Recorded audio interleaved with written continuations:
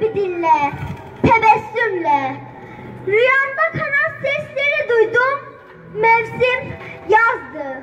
Kanat seslerinin ardından muhteşem bir koku yayıldı etrafa. Sanki biraz gül, biraz leylaktı. Sonra otuz kuş gördüm, hepsi beyazdı. Otuz kuş gökyüzüne şehadet diye yazdı. Bir ses duydum, sela sesiydi. Hayırdır dedim, hayırdır dediler. Çukur kuyudaki gökyüzü gibi uçtukları yer. Ve beni tutup gökyüzüne yükselttiler. Kanatlarında kan vardı. Hayırdır dedim, hadi sen de uç. Bizden hızlı uçabilirsin dediler. Otuz kuş beni boşluğa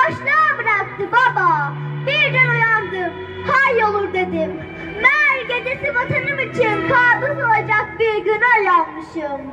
Gökyüzünün yıldızlarını çalıp omuzlarına takan hain yüzler gördüm o gece. Ruhları yoktu. Korkar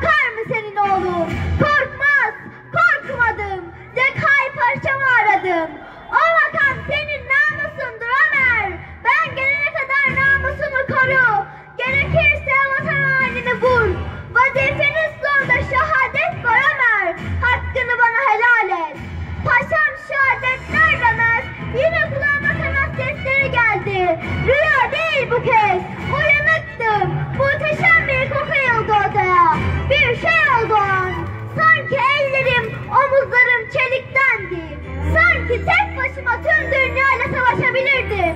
Vatan haini döndüm. Arkasında karanlık gözlü adamları vardı. Giremezsiniz dedim. Bir aslanın karşısında duran çakallar gibiydiler ve saldırdılar.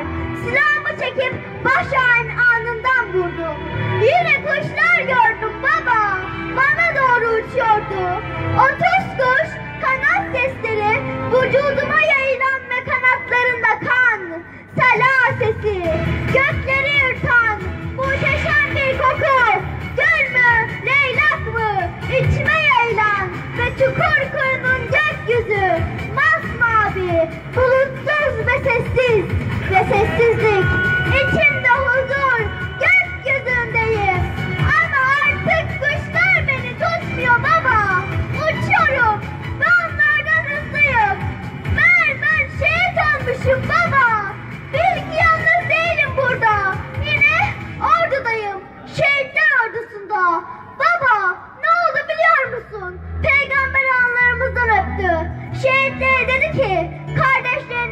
tebrik edin. Bunlar benim gariplerimdir. Baba milletime söyle. Ağlı bayrağın dalgalandığı her yerde. Biz varız. Paşama söyle. Namusumu çiğnetmedim. Anama, çocuklarıma, eşime, kardeşlerime söyle. De ki Ömer size bir vatan bıraktı. Çekinmeden bu vatan bizim diyebilirsiniz. Çünkü bedelini ödedim. Baba vatan için ölmeyi öğrettim. Sen de bana öğrettiğin gibi vatan için yaşamayı öğret. Bu vatan sizin baba.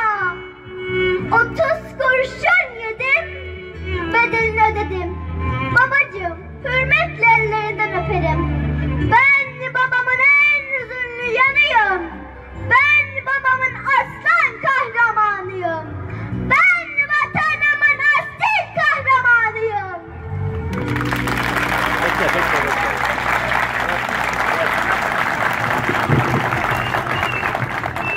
Böyle yavrularımız yetiştiği müddetçe bayrağımız inmeyecek, ezanımız dinmeyecek.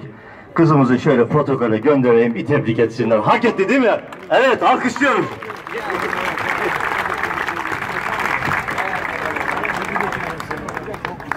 Ağzına sağlık. Mükemmel. Ben yapamazdım.